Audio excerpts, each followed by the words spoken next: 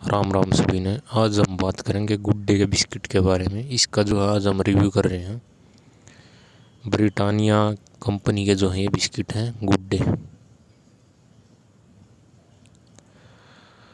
और ये जो है तीस रुपये वाला पैकेट है, सामने जो ब्रिटानिया गुड्डे बटर कुकीज लिखा हुआ है, और काफ़ी अच्छे जो है बिस्किट हैं इसके। अमिताभ बच्चन ने भी जो है इनकी प्रमोशन की थी। इसमें जो तीन लाइन है, बिस्किट की।